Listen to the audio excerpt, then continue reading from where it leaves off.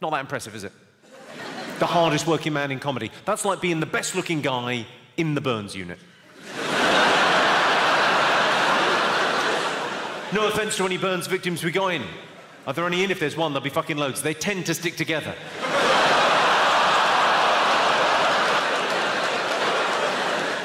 Has anyone in here been flashed? Go on, what, what happened, madam? Is it a funny story or is it distressing? In a club? In a club and someone flashed you in the club? Are you sure you didn't go off with a man in a club? I was kissing him, and I undid his zip, and then he flashed me. Go on, what, what happened? Tell me, tell me the story. It was in the middle of the dance floor. Middle of the dance floor, and he was throwing some shapes, and one of his was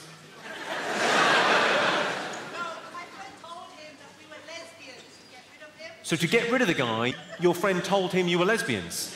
That's how these two started, but then they liked it, so they stuck with it.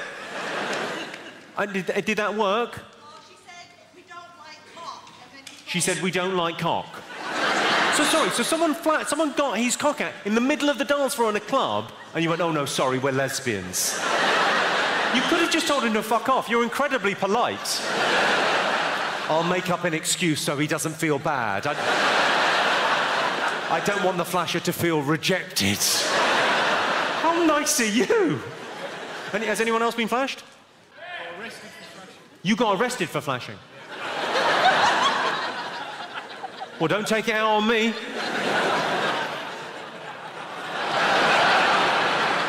What do you mean you got arrested for flashing? Well, I was, I was going for a piss. You were going for a piss? This sounds like bullshit to me. You were going for a piss. Where were you going for a piss? Get, set the scene for us. I've never met anyone that's flash. Go on. It's going for a piss in a primary school. Got in a car park, okay. In a car park outside, you're going for a piss. Caught short, late at night, fine, okay.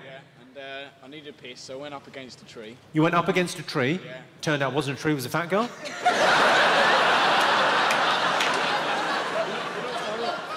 Go on. So you walked up to a tree to take a pee in a car park. This doesn't sound terrible. So far, I'm on this guy's side. Go on.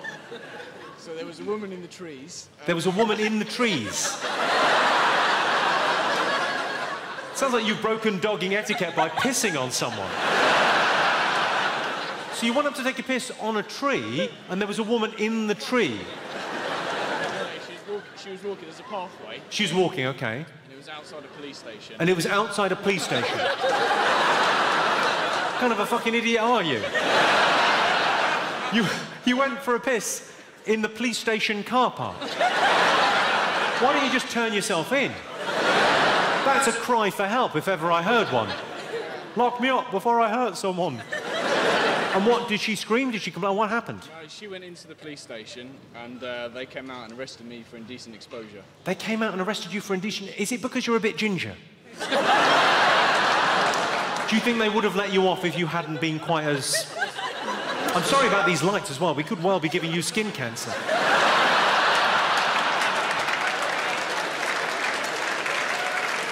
I don't. I think I'm on your side there. If you're taking a piss, that's not indecent exposure, is it? What do you think? Are we on this guy's side? There's one man. No.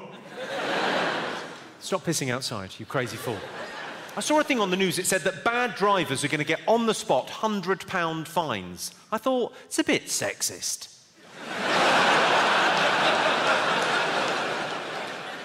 Do you understand that? yes, you did. yes, you did. I'm not being sexist. How could I be? Some of my best friends are slags.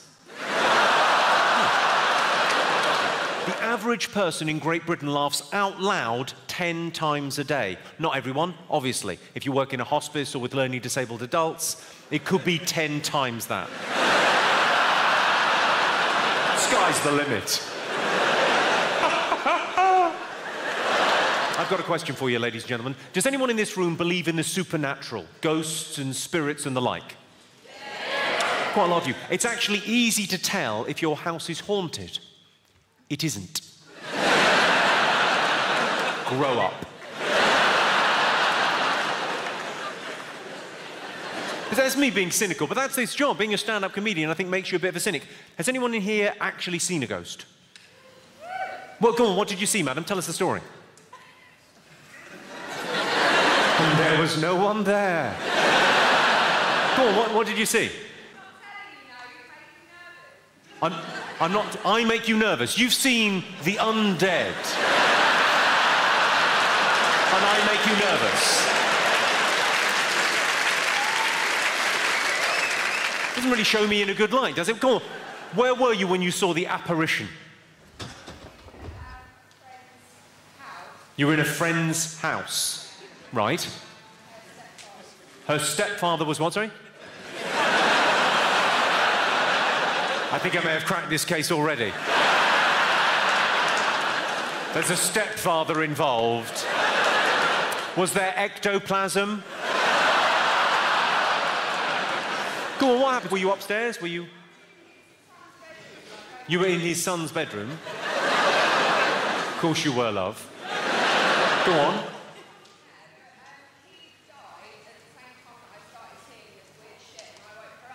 He had died. You should have mentioned that sooner. And then you started seeing weird shit. I'm loving this. There's a special name for people that have seen ghosts schizophrenic. All the best with your future. Quite an in-depth story. I'll leave it at that stepfather did something terrible. And you've recoded that memory. Have we got any teachers in this evening? Is shout any teachers? Oh, loads of teachers in. You work bloody hard, don't you, teachers? Half the year, five hours a day. I'm not knocking it. I could never do what you people do for a living. Not because it's difficult, I wouldn't pass a CRB check.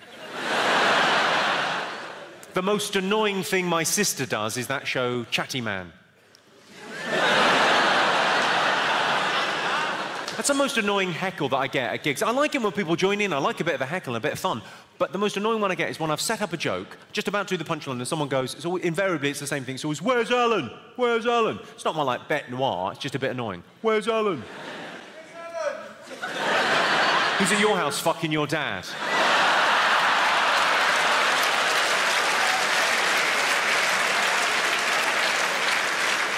I think we all knew, including him, I think we all knew that was a trap.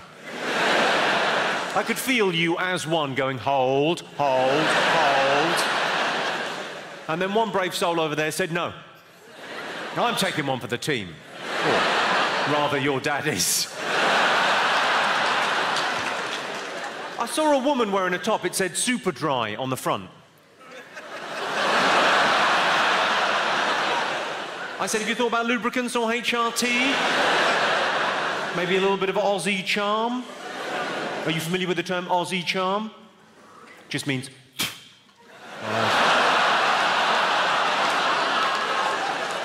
Australian charm, you're welcome. Very pleasing look from the ladies of London as if to say, well, I didn't know that had a name, but yes, that does happen. of course, not all fat people are jolly. Some of them are women. you shouldn't be mean. Fat girls have got feelings. Mainly, they're hungry. It's only a joke, isn't it? It's only a bit of fun. I told it the other night and a girl got up and walked out. Well, waddled out. I presume offended, possibly just peckish. Let's hear from all the heterosexual men in the room. Give us a shout, all the heterosexual men. I'm guessing from that expression. I can't remember which one heterosexual is. I'm not taking a chance. Maybe this is how they recruit them. I thought my girlfriend was a slag when she told me I was her 32nd lover, and then I realised she was talking about time. there is a minimum comprehension level you may be asked to leave. Of course, not all gay people are happy, camp, and fun. Some of them are lesbians. if you're a lesbian and you didn't find that funny, you're surprising no one. Are there any lesbians in? No, my gaydar is pretty much honed in on this, this pair down there. Hello, how are you two? You all right? Yeah. Are, are you, I presume you're a couple? Married, yeah. You're married? Oh, congratulations. Fabulous. How long have you been married? Since October. Since October? My God, it's new and fresh. have you even finished consummating the relationship? No. You don't know when you're finished, do you? That's one of the problems with your lifestyle choice. We'll just put that on hold. We'll be back in a minute. Well, so you're married, you're committed to each other. Well, it's maybe a crazy question to ask you because you're in this long term relationship and you love each other, but what would it take to get you back on solids?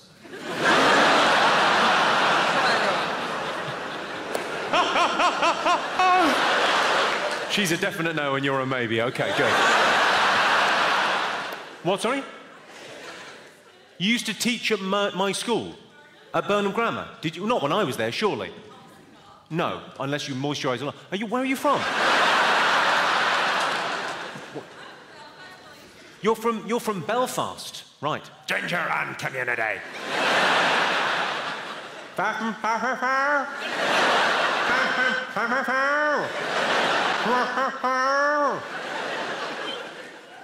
I was just saying what you said to me back. I... Oh, how come you're teaching over here then? Are you in the witness relocation scheme? What the fuck happened? Fucking grass.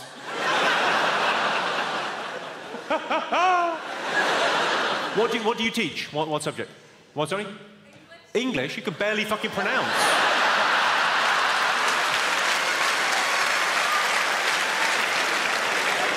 I don't really understand the vajazzle. I mean, I know what a vajazzle is. I know, I know what it is. They whip away all the hair from your foo-foo, and then they diamante it. I say they, I imagine you get some Pritt stick and glitter and have a crack yourself. Have a sparkly crack yourself, you're welcome. Um,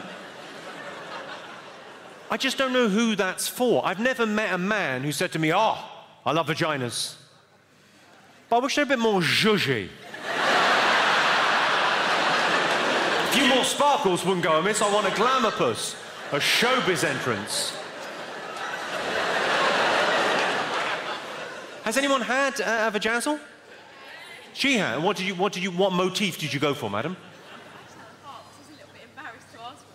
You you had a heart because you were embarrassed to ask for.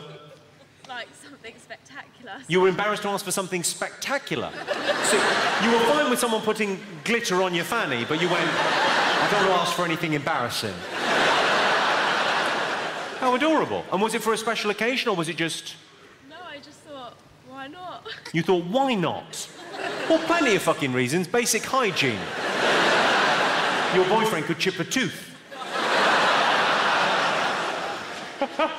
and it was definitely a proper vajazzle, not a Liverpool vajazzle, which is just a euphemism for herpes.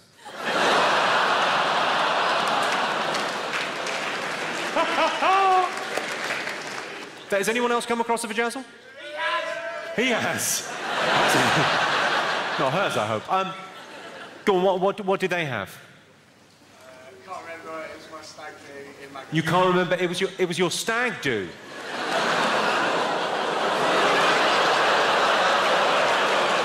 Oh, you can't remember anything. Sounds like a Liverpool for vajazzle to me. No, love, I don't know what happened. It's just really itchy. Fucking hell.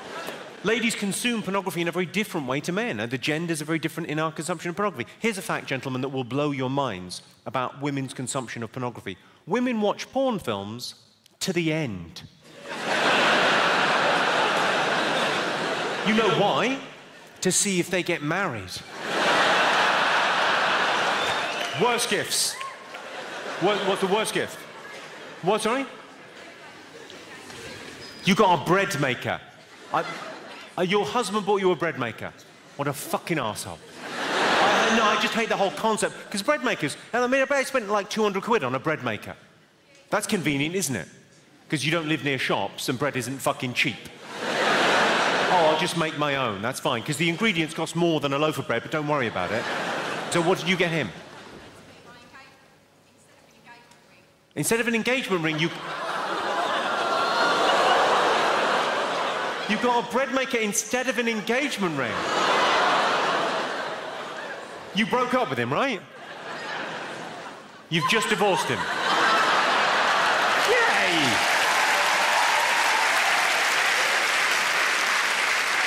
Why did you go through with marrying him? I mean, that must have been fucking awkward in the office. Look. Oh, it's a nice one, sparkly. you poor thing. Any other bad gifts? You got what, what sir? A dog pooper scooper. Do you have a dog? At the time, yes. At the time, yes. the fuck have you done with your dog, dude? What happened to your dog? You don't have him anymore. Toby's mum ate him.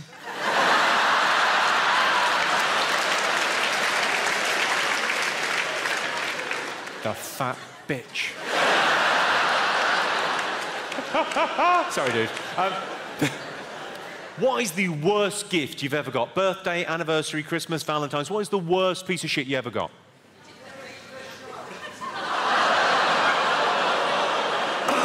We've had a heckle.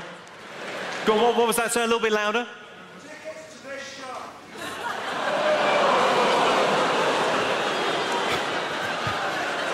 No, that, fine. Uh, sir, what, what's your name? What? What? Sorry. Toby. Toby, do you mind me sharing with the group? Thank you very much indeed, Toby. That makes it much easier because there's a heckle. It's quite a good heckle, quite a funny heckle. But we have to do a heckle put down now. God.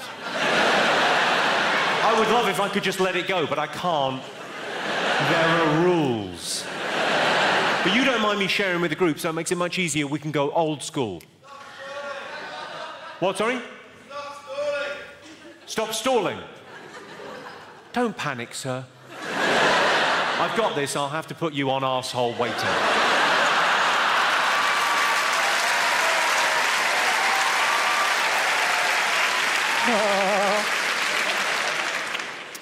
Toby's mum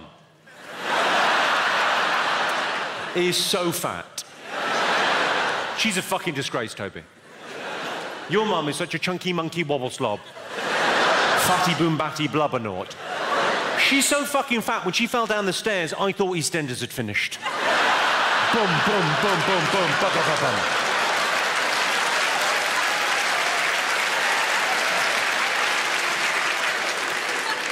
True story. Ahem. You, sir. What did you say? What was it? Stop stalling? Yeah? What, what's your name? Gary. Are you trying to say Gary? Watch me. Gary. Yeah. Yeah. Yeah. The fuck is that? Well, Gary, if you want my comeback, you'll have to scrape it off your mum's teeth.